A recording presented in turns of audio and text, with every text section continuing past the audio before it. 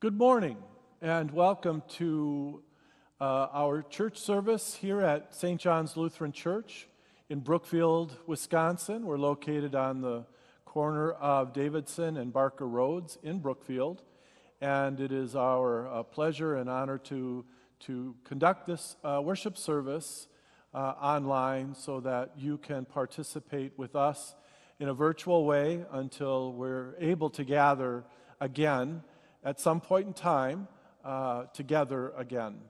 And so uh, let us begin the worship service with the confession and forgiveness. Blessed be the Holy Trinity, one God who creates, redeems, and sustains us and all of creation. Amen. Trusting in the mercy of God, let us confess our sin. Faithful God, have mercy on us. We confess that we are captive to sin and cannot free ourselves. We turn from your loving embrace and go our own ways. We pass judgment on one another before examining ourselves. We place our own needs before those of our neighbors. We keep your gift of salvation to ourselves. Make us humble, cast away our transgressions and turn us again to life in you. Through Jesus Christ, our Savior and Lord. Amen. God hears the cries of all who call out in need, and through his death and resurrection, Christ has made us his own. Hear the truth that God proclaims Your sins are forgiven in the name of Jesus Christ. Led by the Holy Spirit, live in freedom and newness to do God's work in the world. Amen. Thank you.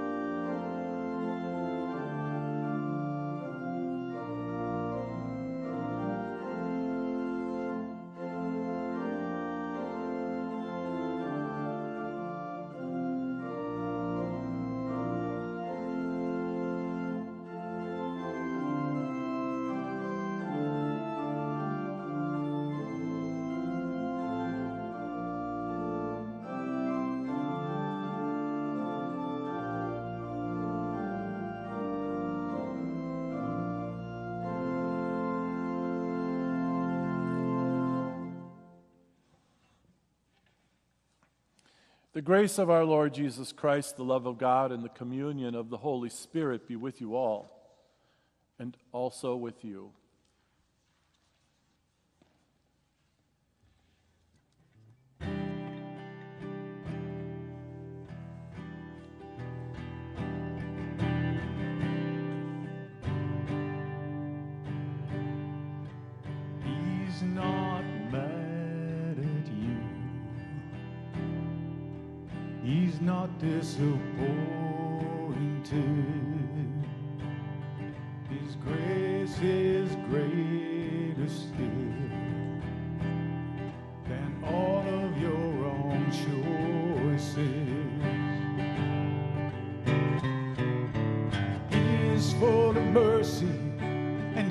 Ever kind. His invitation, his arms are open wide.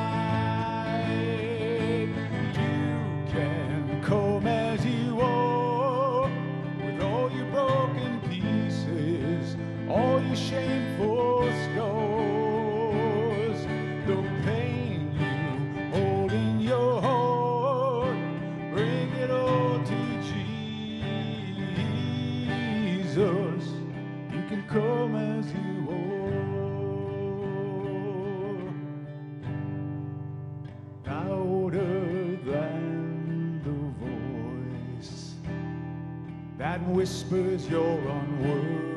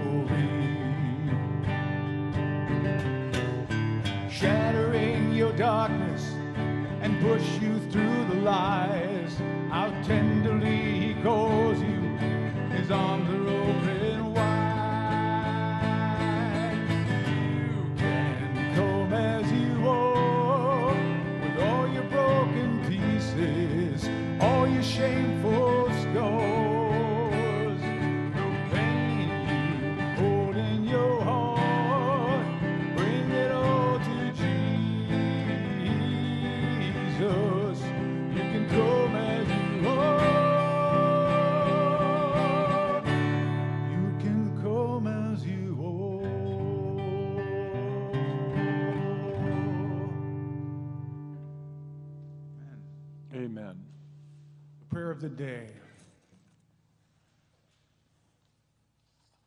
God of love, giver of life, you know our frailties and failings.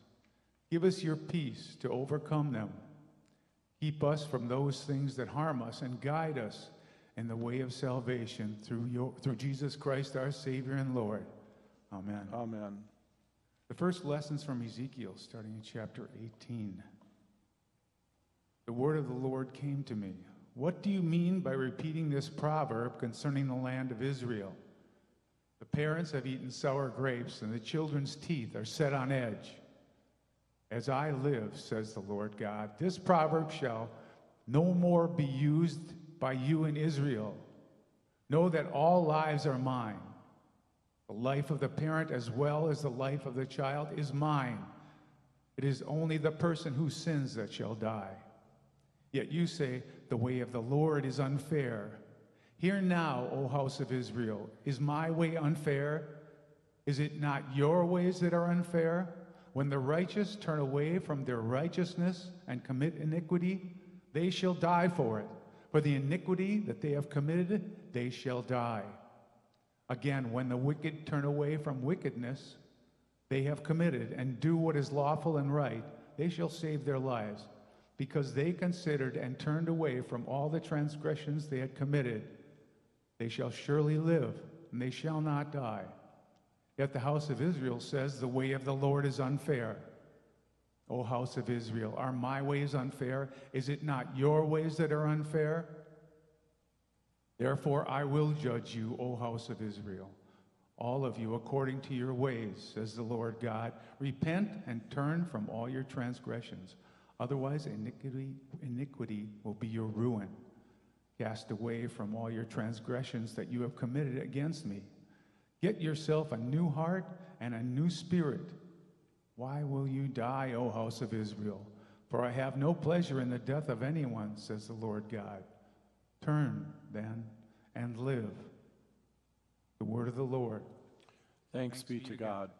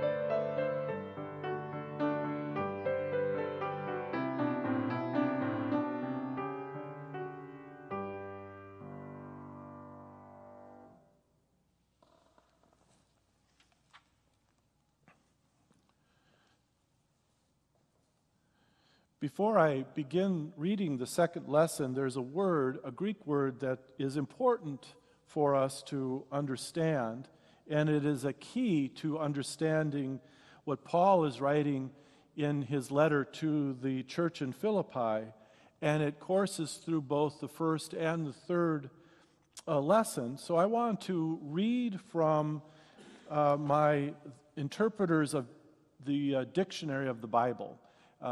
This was printed long before Wikipedia, and so uh, we, uh, we pastors and um, scholars of Scripture uh, often refer to this, the, these uh, wonderful books to give some definition. And the word, and you're not going to hear it in the lesson because it's in English, but the word that Paul uses in verse 7 is a word called kenosis. So, what does kenosis mean? Well, it's a Greek word meaning an emptying or depletion from the word kineo, which is the, the root word in Greek. So, where Christ, where Jesus the Christ is said to have emptied himself, some interpreters understand this passage and this term in terms of Christ's preexistence, making kenosis virtually equivalent to incarnation. Others have applied an Adam Christology in which Christ, like Adam, was in the form, in other words, the image of God, but Christ did not repeat the mistake of Adam, who, perhaps motivated by selfishness or conceit, and looking to his own interests, grasped at prerogatives reserved for God alone. In this case, the kenosis motif in Philippians 2, verse 7, dramatically expresses Christ's choice to accept the status of a slave to others because the passage is poetic. Many would argue that it actually is from a hymn that predates Paul. It may allude to both a pre existence and an Adam Christology. The concept of kenosis has proved useful in theological discussions of pre existence and what self emptying might mean with regard to divine attributes. So now I will read what Paul has written using the word kenosis in the, uh, verse 7. If then there is any encouragement in Christ, any consolation from love, any sharing in the Spirit, any compassion and sympathy, Make my joy complete. Be of the same mind, having the same love, being in full accord and of one mind. Do nothing from selfish ambition or conceit, but in humility regard others as better than yourselves. Let each of you look not to your own interests, but to the interests of others. Let the same mind be in you that was in Christ Jesus, who, though he was in the form of God, did not regard equality with God as something to be exploited, but emptied himself, taking the form of a slave, being born in human likeness. And being found in human form, he humbled himself and became obedient to the point of death, even death on a cross.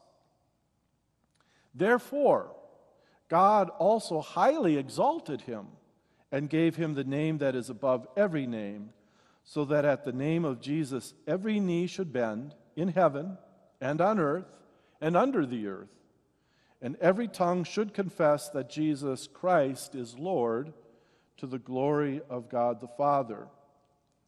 Therefore, my beloved, just as you have always obeyed me, not only in my presence, but much more now in my absence. Work out your own salvation with fear and trembling, for a God who is at work in you, enabling you both to will and to work for his good pleasure. The word of the Lord.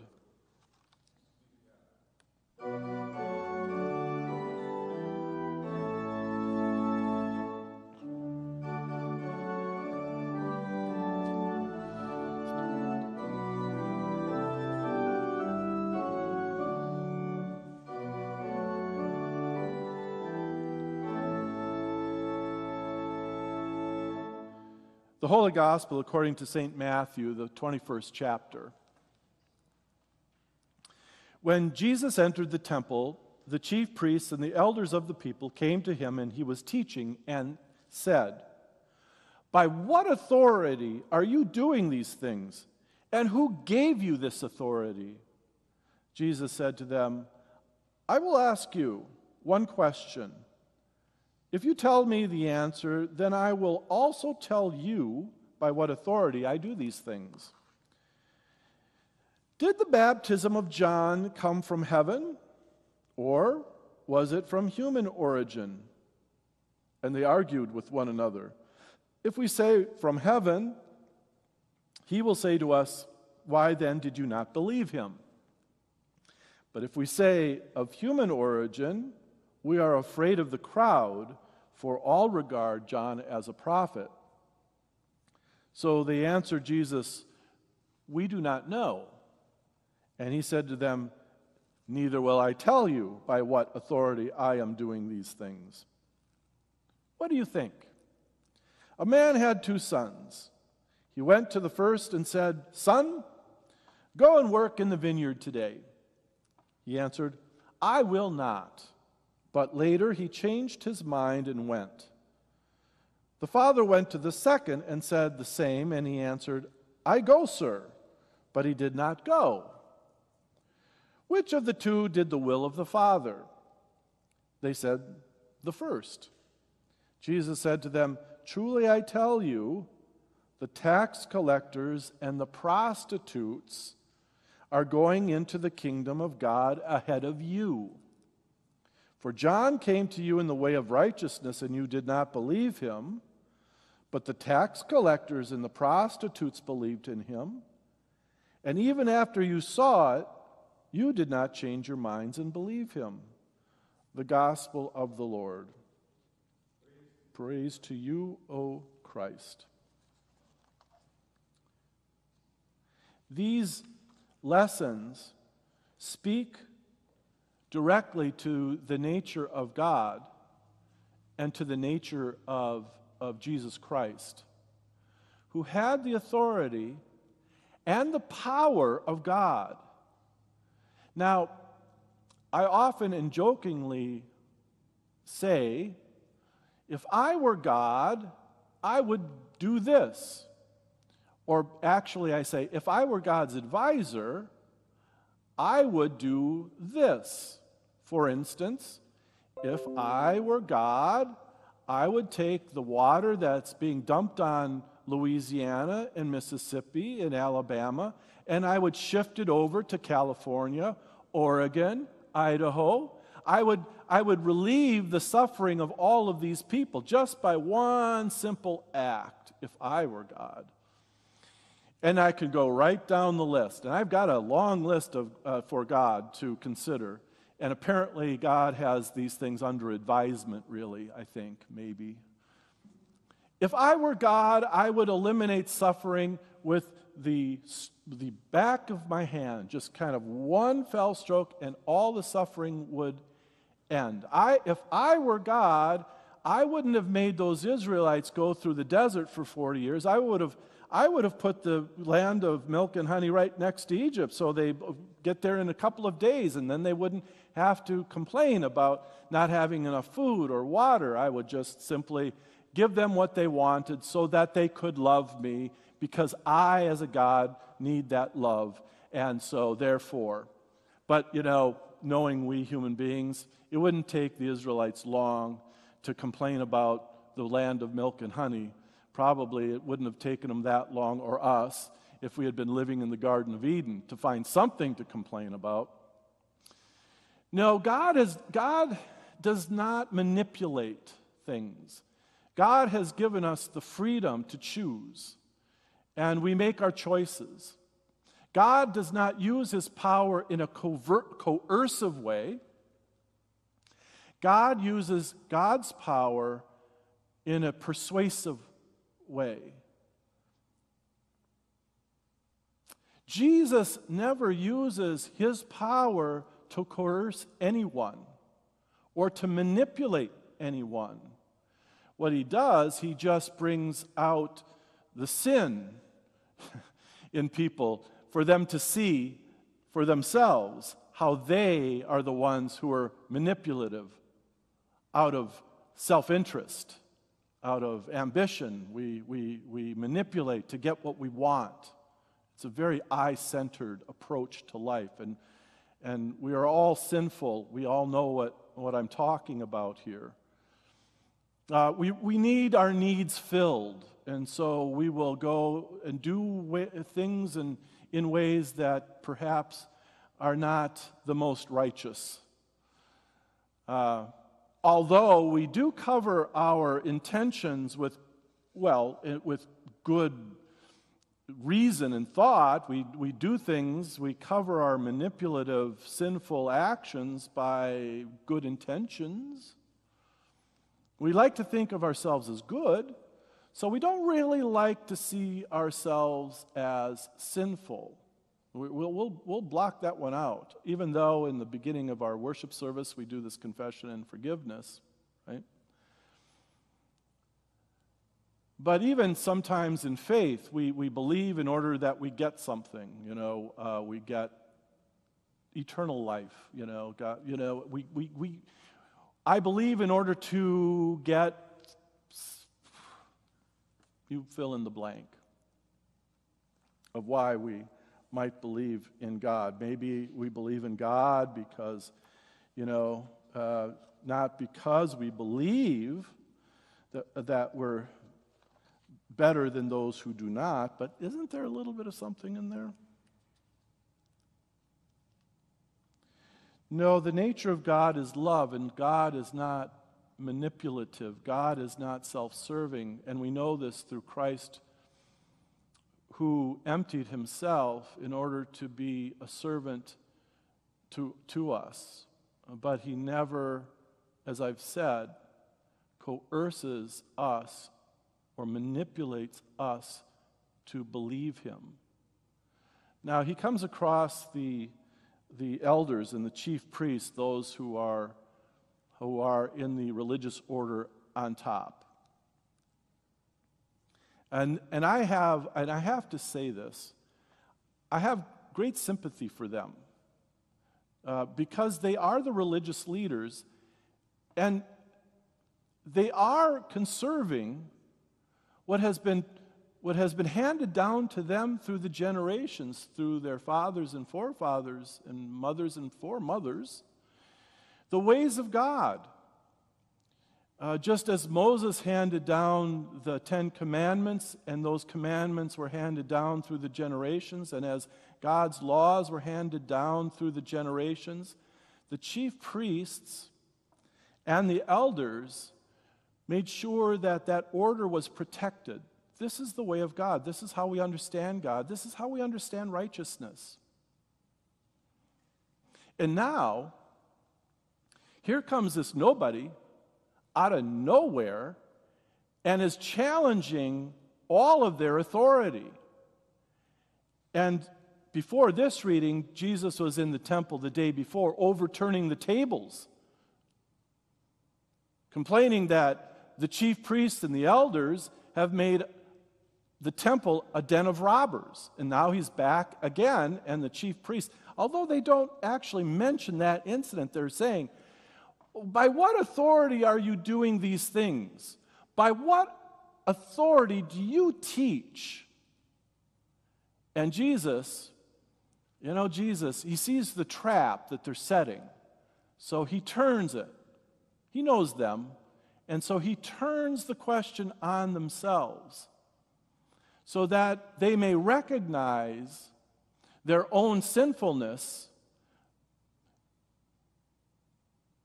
as he lifts up the people who live on the margins of society, who know they're, they're not good people, but by knowing that they, the tax collectors and the prostitutes, when they heard John, came to, them, came to John in repentance, a turning around of their lives. They recognized it in themselves. They saw the sin and asked for forgiveness. Whereas the chief elders and the, and the priests, they couldn't see it in themselves. The people, the house of Israel that Ezekiel is preaching to, the prophet Ezekiel, had the same message to the house of Israel repent. You are no longer people of compassion and understanding. You are people who oppress the poor, you oppress the marginalized for your own gain. And, and so Jesus is, has turned the table and said, My authority is recognized by the very people that you don't. And what's so interesting and so ironic, the chief priests and the elders are there to judge Jesus. What they don't know is that they're judging themselves. And so the, the story ends there. We don't know what happens. But Paul picks this up in his letter to the, uh, the Philippians about the self emptying, about, about being humble, and looking at our neighbor and, the, and our neighbor's needs, not judging our neighbor, but loving our neighbor uh, as Jesus would say, as we love ourselves. By, and, by, and seeing all people, all people, for the value that God has put in them. Just like in Jesus' society, the, the prostitutes and the tax collectors, their lives didn't matter. They had no value to their society so the people thought. Not the good people. But Jesus sees how much their lives matter to God. And Paul is saying the same thing to his congregation in Philippi. Do not judge your neighbor and do not think of them as worthless or less than you. Think of them as better than you and, and serve them. Hear them. Listen to them because they are the ones who have repented. Can you repent of your sin? And for me, I'm like all of you. Sometimes it's difficult to see it, that sin. I didn't sin. No, that, that's the, I, and I can throw blame all over the place. It's hard to look within. It's hard to hear what a prophet might say to us and to me. I'm a good person. I don't need to repent. I'm not like them. And Jesus said, Oh, yeah, well, yeah, you're not. They have seen the truth. You have not. And so Jesus says to the chief elders and the priests, not in any direct way, but through his questions, he's saying, And will you repent and be obedient to the love of God that pervades all things? The love that, that pervades and values even those people that you do not. Those who are on the outside, those who are on the margins uh, those who the society has ordered them to be on the bottom rung. And so Jesus, he turns it upside down. You know, you got to be careful with Jesus. You know, uh, I was reading a commentator who said that he, uh, he was watching Dr. Phil And, and somebody asked Dr. Phil, if you had one person to interview, who would you interview? And he said, without, a, without missing a beat, Jesus Christ. I'd love to sit down with him and talk about the meaning of life.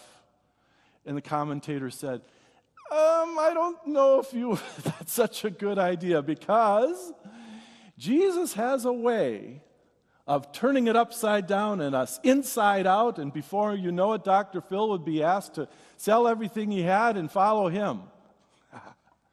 yeah, uh, Jesus was not a philosopher that you sat down and had a cup of coffee and talked about the, uh, the mysteries of life. Jesus was more about action. He said, Do the will of God, and the will of God is to love your neighbor as, you, as yourself. Repent of your sin, repent of your, of your self centeredness, move out of yourself, empty yourself, humble yourself, and then you can really know God and the power of God through that love.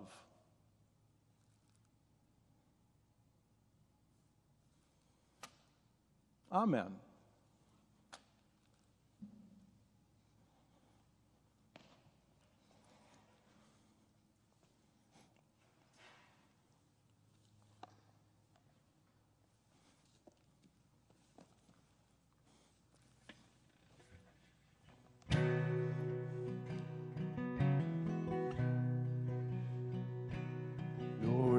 Come, I confess,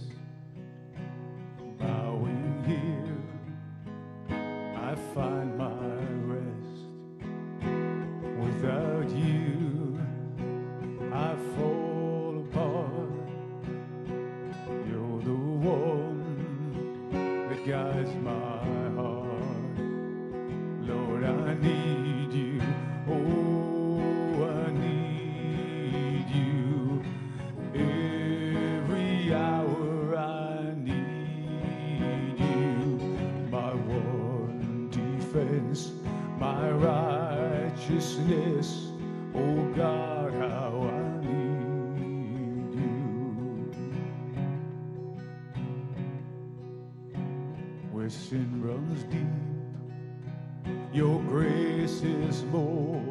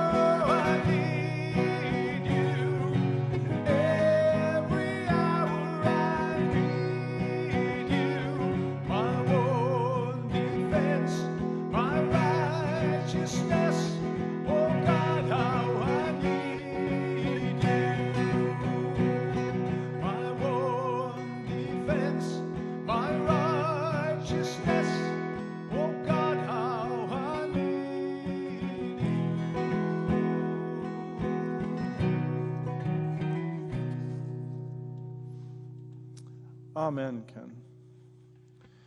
Let us profess our faith in the words of the Apostles' Creed. I believe in God, the Father Almighty, creator of heaven and earth. I believe in Jesus Christ, God's only Son, our Lord, who was conceived by the Holy Spirit, born of the Virgin Mary, suffered under Pontius Pilate, was crucified, died, and was buried. He descended to the dead. On the third day, he rose again. He ascended into heaven. He is seated at the right hand of the Father, and he will come to judge the living and the dead. I believe in the Holy Spirit, the holy Catholic Church, the communion of saints, the forgiveness of sins, the resurrection of the body, and the life everlasting. Amen.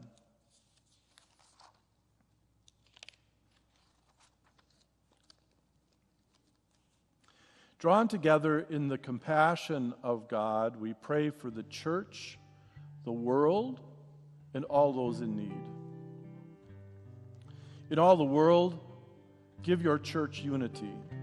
Inspire all the baptized with the mind of Christ, where the church is powerful and where it struggles. Shape us with humility and obedience so that your love may be at work in us.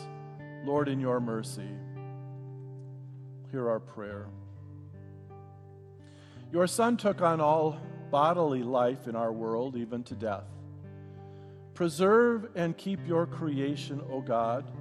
Mend and redeem places that are polluted and damaged, so that all of creation confesses you as Lord. Lord, in your mercy, hear our prayer. Turn the nations toward life. Where our ways are unfair, give us new hearts and new spirits where sin permeates our cultures and institutions, change our minds, and teach us to trust your authority. Lord, in your mercy, hear our prayer.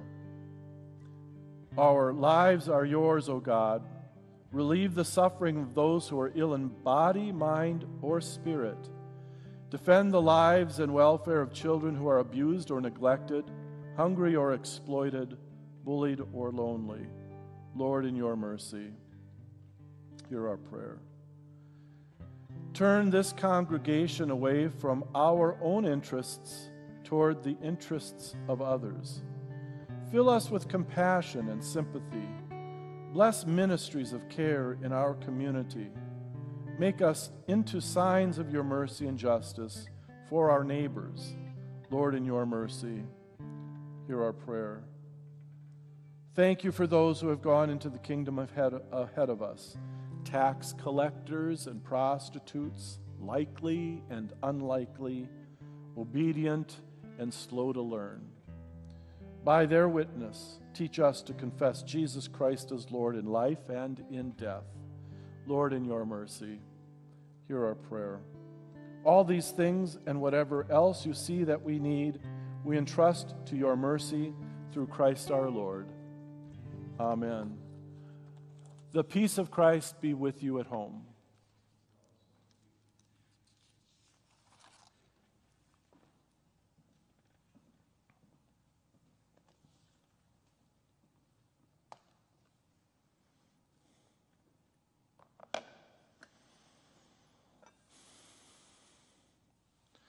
Blessed are you, O God, maker of all things. You have set before us these gifts of your good creation. Prepare us for your heavenly banquet. Nourish us with this rich food and drink, and send us forth to set tables in the midst of a suffering, a suffering world. Through the bread of life, Jesus Christ, our Savior and Lord. Amen. In the night in which he was betrayed, our Lord Jesus took bread, gave thanks, broke it, and gave it to his disciples, saying, Take and eat. This is my body given for you. Do this for the remembrance of me. Again, after supper, he took the cup, gave thanks, and gave it for all to drink, saying, This cup is the new covenant in my blood, shed for you and for all people for the forgiveness of sin. Do this for the remembrance of me. Please join me in praying the Lord's Prayer. Our Father, who art in heaven, hallowed be thy name. Thy kingdom come, thy will be done on earth as it is in heaven. Give us this day our daily bread, and forgive us our trespasses as we forgive those who trespass against us. And lead us not in temptation, but deliver us from evil. For thine is the kingdom, and the power, and the glory, forever and ever. Amen. The body of Christ has been given for you, and the blood of Christ has been shed for you.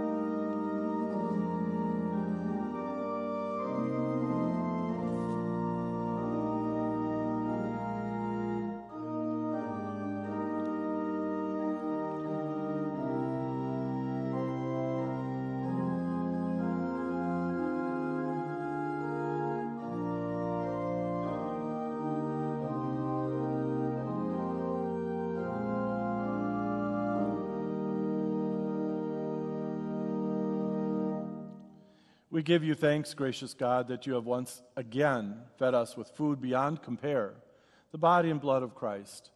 Lead us from this place, nourished and forgiven, into your beloved vineyard, to wipe away the tears of all who hunger and thirst, guided by the example of the same Jesus Christ and led by the Holy Spirit now and forever.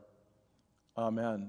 Almighty God, Father, Son, and Holy Spirit, bless you and lead you into the way of truth and life. Amen.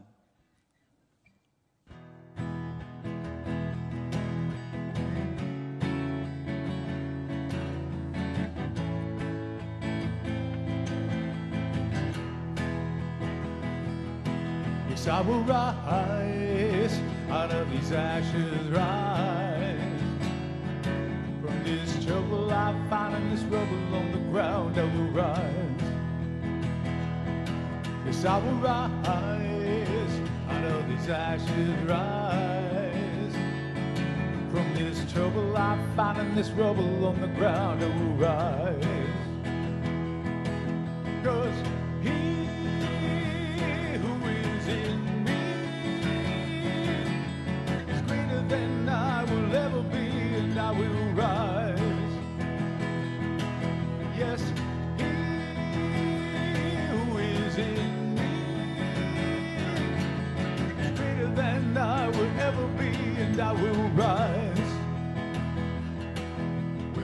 sometimes my heart is on the ground.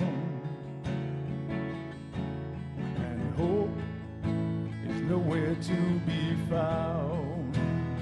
And love is a figment I once knew. Yet I hold on to what I know is true. I will rise out of these ashes, rise trouble I find in this rubble on the ground I will rise. We'll rise out of these ashes, rise. From this trouble I find in this rubble on the ground I will rise. I keep on coming to this place.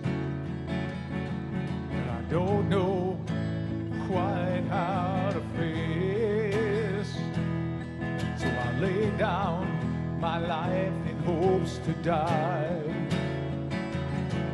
And somehow, somehow I might rise. Yes, I will rise out of these ashes, rise. From this trouble I find in this rubble on the ground, I will rise. Yes, I will rise out of these ashes, rise. From this trouble I find in this rubble on the ground, I will rise. Because he who is in me is greater than I will ever be, and I will rise.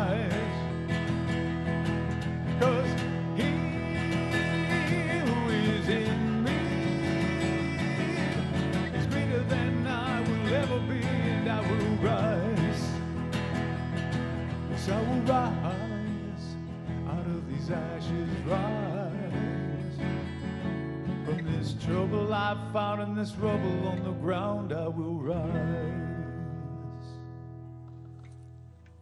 Thank you, Kenn. Well, this concludes our worship service. I just have a couple of announcements to make. Next week, uh, we will be moving indoors for our worship services. So we ask that you register uh, uh, if you want to attend um, so that we can keep a, a good count of, of who's going to be here and, and uh, how we're going to uh, conduct the service. Uh, Pam is working on a video to, for you to see what to expect when you come back in for the worship service, uh, all of the safety precautions and so forth. So I urge you to go online and take a look at that. Um, secondly, we're October 4th is really our rally day. Of course, this this year rally day looks a little different. But our programming begins in October with our Sunday school, confirmation, high school youth uh, ministries. Uh, and Carrie and Joanna will be, uh, will be sending out information to you parents about that. Uh, and then also, I would like to invite all of you to attend either in person or via Zoom. We're going to do simultaneously uh, an adult education uh, series this fall on race relations, having a difficult but a, I, I believe a constructive and thought filled discussion on, on race relations. And the first book that we're reading is Jim Wallis's book uh, entitled America's Original Sin Race Relations in the United States. So I would encourage you to buy that book and, and read it. And we're going to read the first four chapters for the discussion on Saturday at 9:30 here in the fellowship hall or online. Please register there. And then Pastor Karen Natterstad is also teaching a course this fall uh, from Gethsemane uh, via Zoom, all on Zoom, on Bible basics. And I think she's looking at social justice through, through the biblical perspective. What we want to do and what we are doing is we are offering these courses, these adult education classes, to both St. John's and to the people at Gethsemane Lutheran Church in Brookfield so that together we can grow in faith and work together in these very difficult times and sharing resources and insights uh, with each other. So I encourage you to, again, look online and see what we have um, prepared for you as you come back, uh, if you are, if you uh, choose to do so. Um, and we look forward to either seeing you here or again uh, via, via the virtual media. So, uh, go in peace, be safe, love the Lord.